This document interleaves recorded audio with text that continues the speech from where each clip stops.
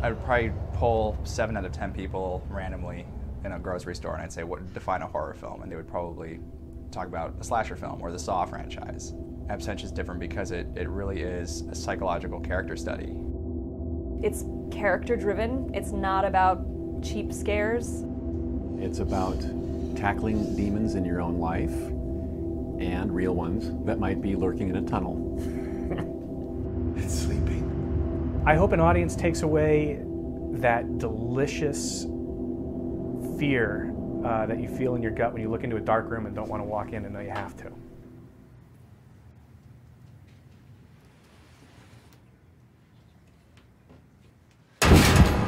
It's an unnatural experience making a film, and you have to make it seem like it's completely natural. I think Absentia is an extremely special case. It really could have gone wrong in any myriad of ways, and didn't. It was a project that we were going to like play around with, and um, hope in the end it would at least play the festival circuit. And by the end, it was like we were all trying to make something that could go up against sort of any other horror movie out there. I know how that sounds. You see your eyes? We're gonna need to question you a lot more. I swear to you, I could hear him in the walls.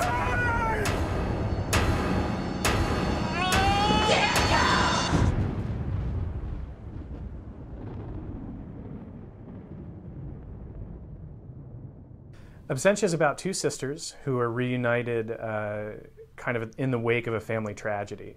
God, it's really good to see you. It's really good to see you. Trisha's husband has been missing for seven years, and she's getting ready to, to declare him dead. Uh, and her sister comes to sort of help her through that process. They're both coming from very different places. Callie uh, is recovering from drugs, and Trisha is pregnant. Just as pen's coming to paper uh, on the application for his death certificate, Trisha is being haunted by visions of her missing husband. Danny?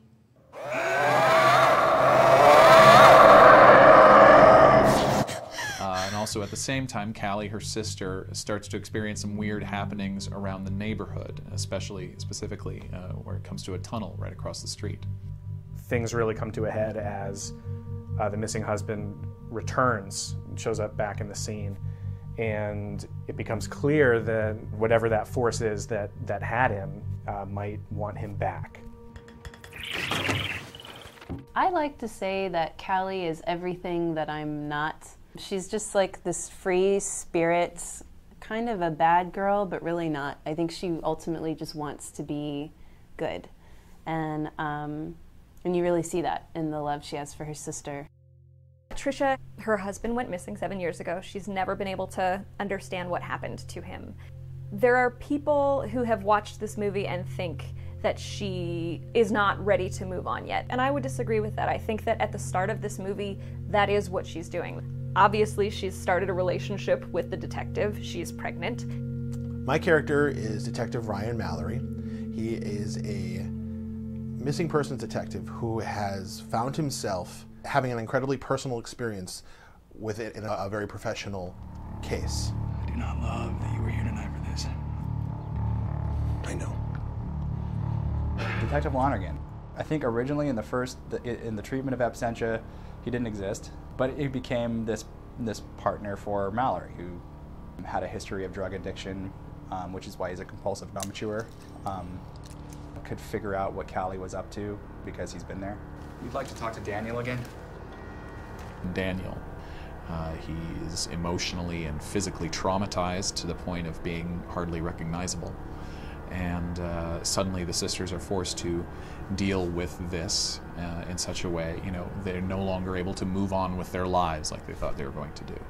It really has a, a great deal of attention paid to character, and that's something that that really um, impressed me from the original read of it. It was trying to create the characters and have this um, or storyline kind of organically work around them. And it just so happens that that storyline is a horror movie. Absentia is a horror movie that doesn't really reveal too much, and I think that is what makes it scary. Um, Mike Flanagan is the kind of director that uh, I think trusts his audience and um, how intelligent they are and leaves a lot to their imagination. So many horror films today fall back on torture or uh, sadism. um, and violence and, and, kind of over the top gore uh, to, to make their point. And I think there's, there's absolutely a market for that, and I, I enjoy my share of them too. But for me, what makes this movie different is that it's decidedly minimal. There's no gore, very little gore. It's, it's, it, the fear comes from you, from uh, your own imagination as the, as the viewer. It kind of falls back on the idea that what you can't see is, is going to be scarier than, than what you can. It really is a psychological character study um, with really extremely well fleshed out characters in realistic situations um, having to deal with extraordinary circumstances. And in this case, the extraordinary circumstance is a supernatural element that is beyond their control.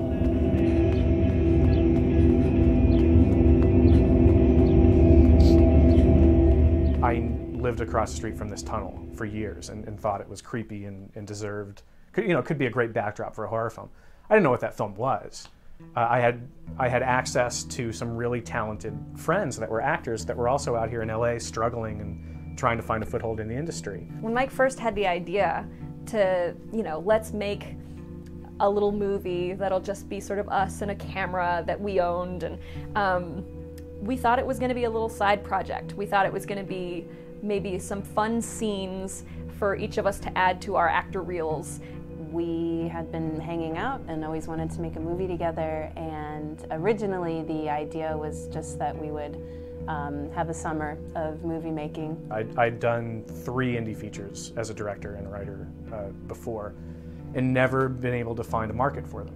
Um, they were character dramas, and, and while they were great learning experiences, I, I was never able to sell them and kind of move on to the next level. So, this initially was meant to be, frankly, uh, a way to create a calling card. The original idea was just to get you know a group of friends together on weekends with uh, cameras that we can you know find around the house, so to speak, uh, and just um, and just sort of play around and, and, and see what comes about. So it became more about trying to find a story that wouldn't cost us much money to make, um, that would utilize ingredients that were already on hand, uh, the location, the actors, and then it became about trying to find a story that, that we could actually feasibly do. So it was completely backwards. Um, it was actually my younger brother who appears in the film as Jamie Lambert. Um, when I, I, pitched this to him on the phone, it was just like, I, I, have a camera, I have a group of talented actors, and I have this tunnel, but I don't have a story that first threw out the idea of the Billy Goat's gruff. And that story of three goats who encounter a troll underneath a bridge uh, suddenly became the template for three people who encounter something sinister uh, in a tunnel.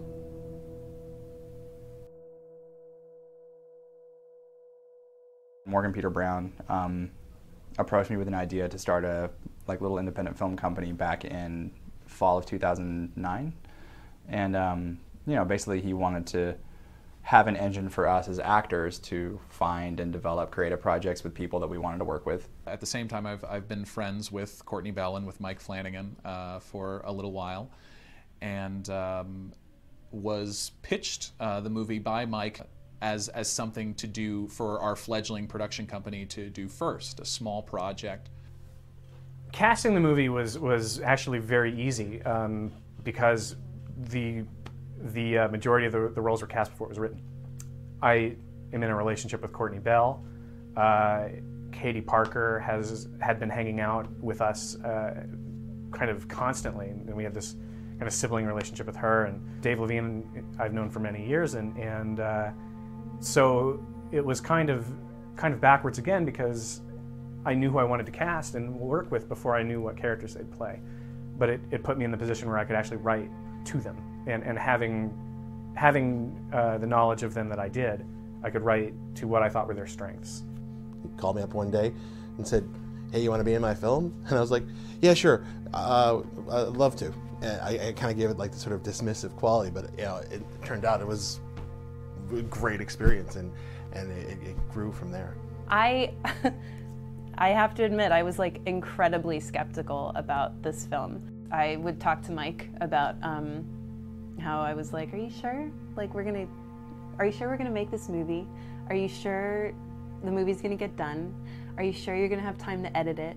Are you sure people are gonna want to see it? Are you sure it's good?"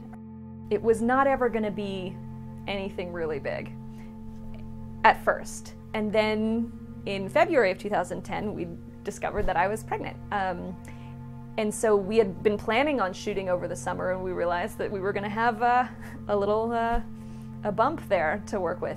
We had had kind of a hard deadline as to when we had to start the shoot, uh, simply because of Courtney's pregnancy. We wanted to time it in such a way that she would be visibly pregnant, but you know, still be physically able to do all that she was able to do.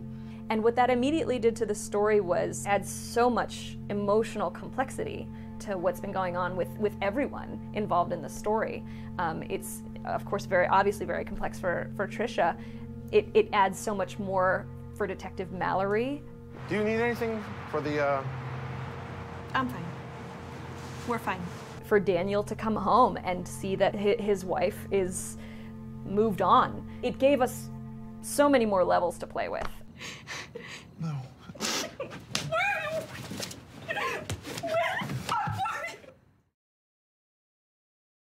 One of the first things that, that changed the game for this was a conversation with Rustin Cerveny. I was planning on shooting the film on, on this JVC camera that I, I had bought for a documentary project, and, and Rustin was the first one to, to pitch me on the idea of shooting on uh, DSLRs, uh, specifically a Canon 5D. The 5D Mark II just shoots incredible uh, images in low light. And I mean, they use them on so many film sets uh, these days, uh, just for the extra scenes that they can't get a big camera in there. And uh, it's just amazing what they can do. I initially was very, uh, very skeptical of it. It looks like a still camera. It doesn't look like a, a camera you make a movie with. And then we decided to do a, uh, to do a test shoot a camera test to just kind of see what it could do. From what I understood, it's going to be Mike and me, and we're going to basically get maybe uh, Katie Parker to come over maybe use Courtney, and we'll just test it out, just see what it looks like. As the week progresses, all of a sudden it turns into this whole idea that we're going to shoot basically a trailer for the film, which there is no screenplay yet for. I need you to tell me where you've been. We used it as a way to try to drum up support for the project and maybe even find some funds. And that was the first time I looked at it and said, well, actually, this thing could look like a real movie. This could look really good. You imagined it. I saw it! And uh, that took us up to another level right away.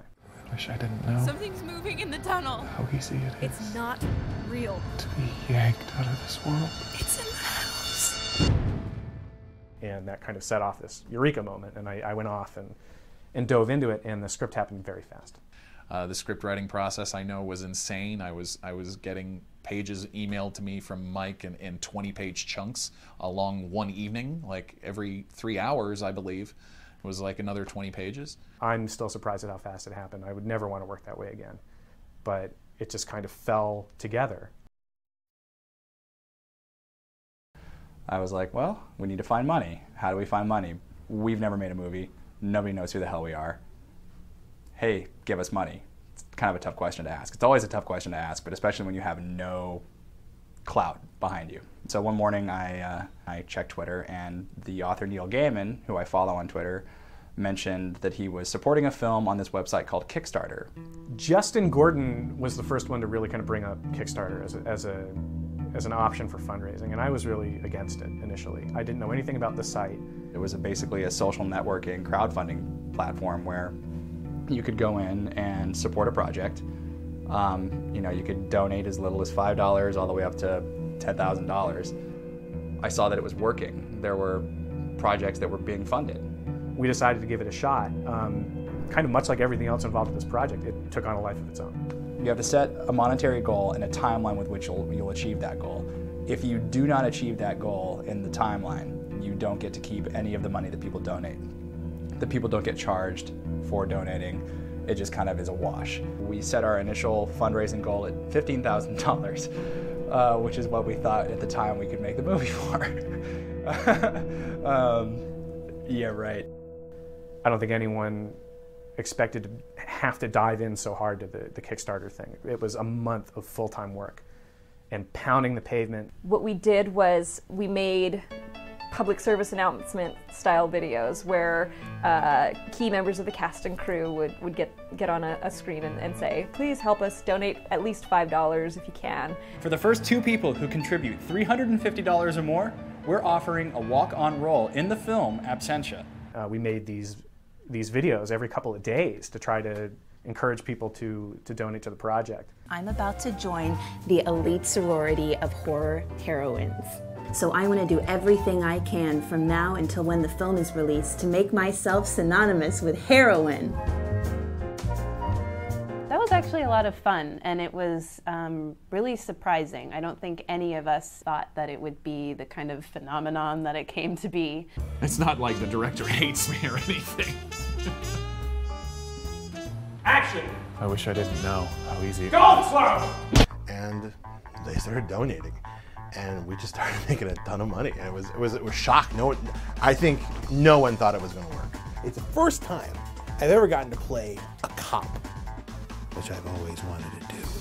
The next thing we knew, towards like the last week of the Kickstarter campaign, we suddenly shot above, far above $15,000. We've actually already met our initial goal of $15,000 thanks to people like you.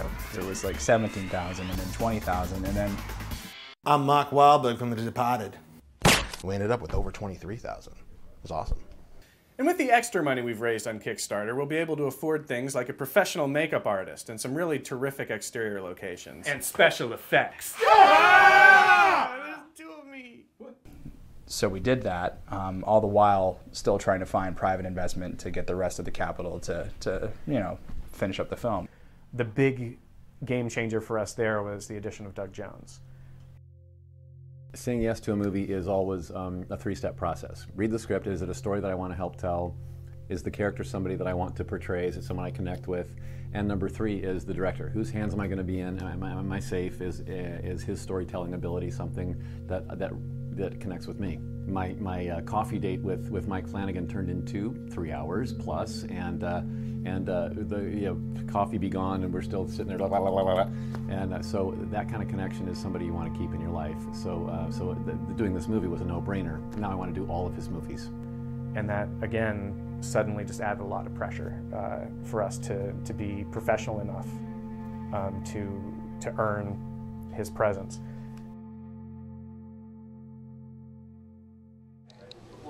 Absentia, set day one. Oh, I know. It sounds just so. I know. Ah. Yeah. I, I mean, I, I knew there was going to be paperwork. I just didn't realize. Oh yeah, no, big time. The shoot was 15 days uh, from mid, mid to late June to early July. The first week, the first six days were all night shoots. It's late at night here on the set of Absentia. Sound crew's gone home, and this is when things start to get interesting. Oh, hey guys! Nothing's going on here. Hey, Drew. Welcome to Absentia After Hours. We shot in my apartment, which I never would like to do again. Um, we had a very small crew. I think our skeleton crew was eight people, but we had everything just shoved into this into this basic this four room space. The costumes and the equipment and the crew just kind of all piled on top of each other in these tiny spaces that had to be rotated and moved depending on what room we were shooting in. I was six months pregnant, and for two weeks of having, you know, 15 to 20 people in my space, it was definitely a little claustrophobic and exacerbated by the hormones of being pregnant. Um, there were times when it was very exhausting and very frustrating. Um, now, my character, Trisha, is exhausted and sort of at the end of her tether for a lot of the movie. And so it was actually very helpful for me as an actor. We all wore different hats on, on the production. Uh, you know, I was. I was a producer, loca- I was locations, I was even craft services. I just kind of did whatever, you know, it took to you know, make, make the shoot run smoothly. We didn't have a first AC to help full focus. We didn't have a gaffer. You know, to have the camera department be one person is, is definitely a challenge for sure. Everyone was doing multiple jobs. I definitely held the boom mic a few times, um, you know, but the, but the actual shoot itself was um, a race against time. Most scenes, from what I can remember, you know, we only had, did them in two or three takes you know, for the most part. There were some that went on a little longer. Um, but yeah, it was frenetic. there were days we did, I'm, I'm not exaggerating, there were days we did more than 50 setups in a single day and, and uh, only had time for a take at most. We didn't have lights. Was the other beauty of the the only way this this shoot would have ever been successful is the camera was so forgiving of available light and could make it look so good um, that we very rarely built lights at all. I think maybe once or twice the entire time. And that's the only thing that made it possible for us to do this, as opposed to coming up with a, a setup, lighting it, rehearsing it, doing a few takes, seeing if you had it, moving on, pointing at something camera jumping in, no lights, no prep, no rehearsal, two takes at the most, and then moving on. It was a, it was a marathon. Katie, after your first two scenes, first two sequences of Yeah. the first scene, how are you feeling? Um, good. It, you know, it's like you, it takes a few takes to kind of get into it. And, right. Um, and you're wearing very restrictive clothing. this is the worst costume I've ever had. So then as we started to, to shoot, things would become more difficult. And I think it became increasingly difficult um, because we were fighting time and, um, yeah, fighting the sun, fighting our budget. Everyone was kind of getting cranky. That was like towards the end of the first week because we had one week of night shoots and one week of day shoots. Some of us were sleeping on the floor. You just get worn out. We've been cooped up in this apartment for, you know, what seemed like months, but it was only about seven days. And he's out, he's up, he's out, he's up. Hi, everybody. Okay. And it was time to sort of explore the tunnel and, uh, you know, invite Doug Jones to be a part of the cast. Doug Jones Day was something that we had built up since pre-production. Once we figured out that he was coming in, and we had kind of come up with a schedule. We had, you know, Doug Jones's role. We were going to shoot him out in one day. He had two scenes that we had to do, um, and it was kind of, it was definitely our biggest day. Most movie shoots I've done don't have a Doug Jones day. Uh, uh, but walking into this, I was like, it's Doug Jones Day. And everybody was, was acting very like, oh, Doug Jones is here. You don't always get that on a movie set. So that was, I, I, the respect was, was beyond what I deserved. Uh, so I felt very uh, humbled and um, embarrassed almost that we were having a Doug Jones Day. Everything was bigger on Doug Jones Day. We had better food, we had more people on the set to help out than we ever had before, and everybody really came together in a really, you know, gung ho kind of way. most of the cast this was almost everyone's first and uh, first feature film so that energy and that excitement that bright-eyed you know hopefulness for their, their own future and this is so we're so excited to be we're making a movie that's an energy that I don't often get on the big studio lots. So th- this that was ex- exceptional for me. Originally, I just thought it was going to be so much pressure because we had, you know, the guy from Pan's Labyrinth and the Silver Surfer was going to be in our little movie shoot, and uh, I think every everybody on set was like, we have to behave and we have to do everything right.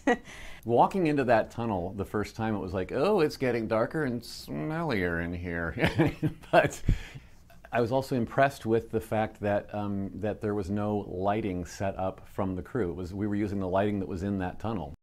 We didn't use any lights in that tunnel in day or night. It was all lit with what was there. So it was kind of like, oh dear, there- there- I hope this comes off. Wow. You know, you're gonna, this is your spot you're going to lie down on, Doug, right here. Uh, so, and it was a patch that had been scrubbed clean and disinfected. I got a time check.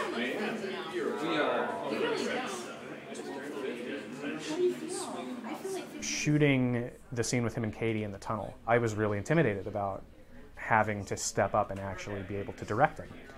Um, so I, I decided to handle that by covering the hell out of the scene.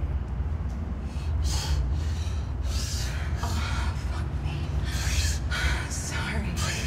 I'm sorry. I don't. I don't have anything. You see me? the rest of the cast was talking about how they got it, got everything in one or two takes, and I'm thinking, well, we did like 48 takes of every angle, and we did like 60 angles on on me while we were in the tunnel. I, I mean, we, we shot more than 20 setups, and each one had four or five takes, which makes it just, it is the most covered scene in the movie. And you can feel it as you watch it. Suddenly, the camera's cutting to a brand new angle every second for, for the 90 seconds that he's on there, uh, which I think works. But um, th- that is certainly, if you ever want to see a, a director's insecurity manifest physically in a film, that's it. every imaginable uh, angle and close up, medium, wide, all that. So keeping the performance consistent through that much, uh, you know, was was that was the challenge for me. And so, so having James Flanagan there uh, close by to remind me of the father-son relationship, what helped was that between every every shot, uh, I asked Jamie uh, uh, if he would come up and, and just give me a hug. so he did, and we sat there, and then uh, the release of that and him walking away gave me the separation that I needed to want that back. Every single take, he was spot on. Anything that Mike asked him to do, he would do. Was really professional, and I think uh, he sort of um, elevated everyone's performance levels. It was like nice to work with somebody who was just like he just kind of knew what he was doing. And uh, you know, it was just it was kind of a special day. We you know we had about 20 extras. Um, you know, we were actually outside at the tunnel, you know, across the street, and you know, the movie kind of took took shape that day. I thought, you know, it sort of stretched out. The production value of it grew, and it grew in scope, and it started to really feel like something significant. Hold him back! Hold him back! Hold him back! Sorry. You're gonna have to stand still. Hold. Hold back! Hold back!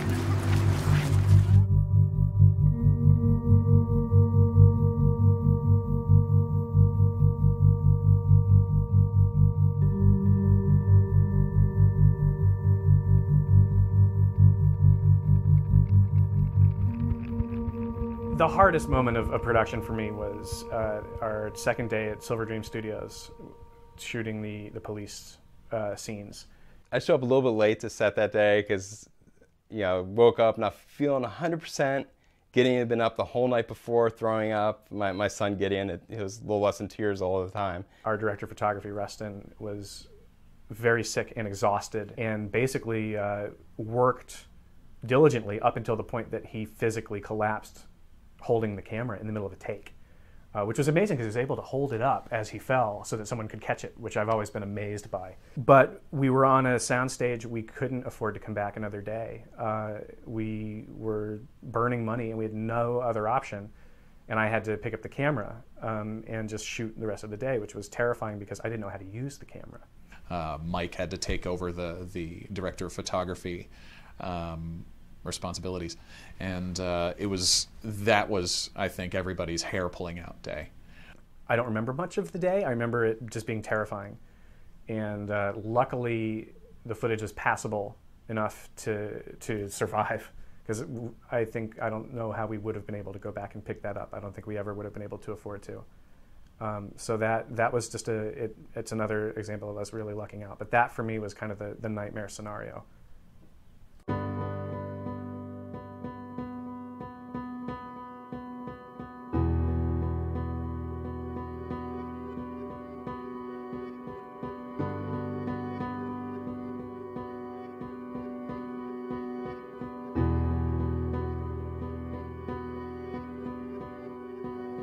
Post production on the film was really um, it was fast. Uh, I think the, the first cut of the movie was 95 minutes, and the, and the, the picture lock cut was 91 minutes. Um, it was very lean. There really wasn't much to remove. Post was a shock. It was like, oh, right, we do have to pay for a, a sound mix. We do have to pay for color correction.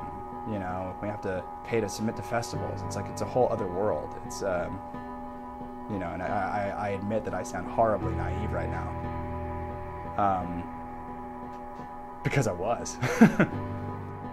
As I'm watching the film come together, suddenly it's like this movie is, is, is bigger than I ever thought it was going to be. As the quality of the film became more and more evident, and, and as, as the film was get, garnering these fantastic reactions, it was an extremely exciting experience, and, and all of it, it was all very new.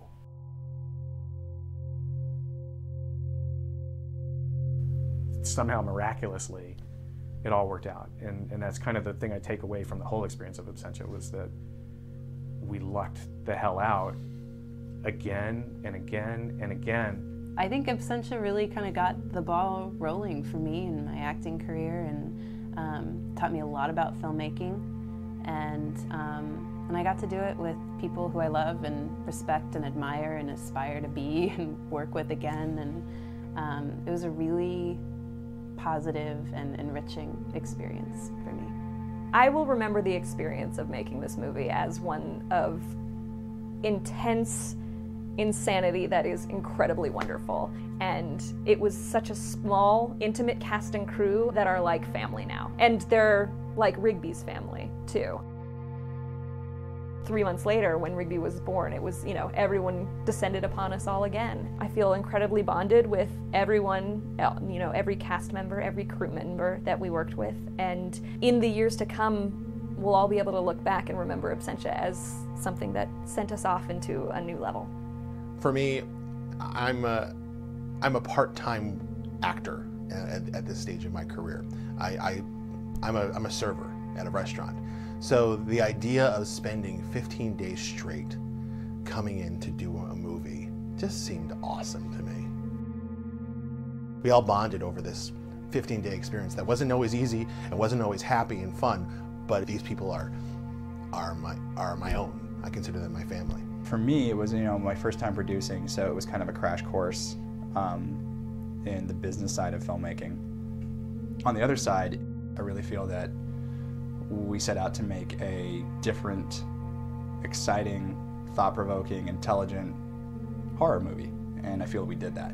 In a lot of ways, it was smoother than we could have ever imagined. Uh, it's only now when we look back that was like, that was kind of crazy. That whole spirit of, you know, we're going to pull our friends together and we're going to make something happen.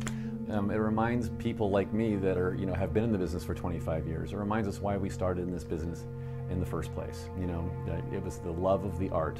I remember Absentia as a movie that was that was thought of thought up by friends and then in the end it was created by professionals. This film has exceeded everyone's expectation for what it was going to be.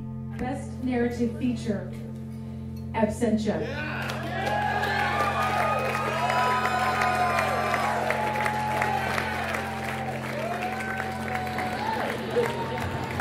As a horror feature, I feel like I should club someone with this. This is amazing. And the fact that that you're watching this DVD right now in your house uh, of this film was was something that, at the time we were shooting it, was kind of pie in the sky. That it's changed so much um, is is a testament, I think, to to the to the people involved and also to luck um, and to uh, to improvisation, because everybody at some point had to completely jump in uh, and do something that they had no idea how to do in order to keep the movie moving uh, forward.